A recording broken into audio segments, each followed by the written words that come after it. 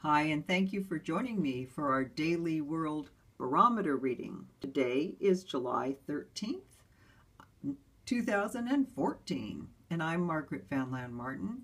I own the Age of Aquarius in Chico, California, and I have been working with psychic abilities for over 30 years. I love what I do. I have always been so happy that I actually get to do what I love to do. If you want to do what you love to do, the easiest way is to come in and have a psychic reading and let's start exploring. What is it that you love to do and how could you do more of it?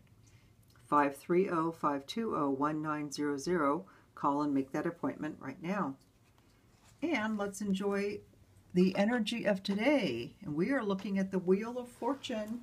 And the Wheel of Fortune just says it's up and it's down. So it changes.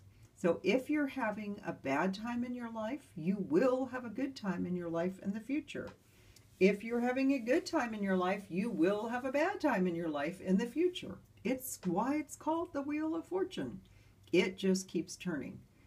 Your job, if you choose to take it, is to realize that it's all about learning. So do you want to learn more? If so, have a learning experience. Do you want some free time? Ask for that. All you're wanting to do is know that it does change and you are not stuck because wheels turn. Thanks for joining me. Bye for now.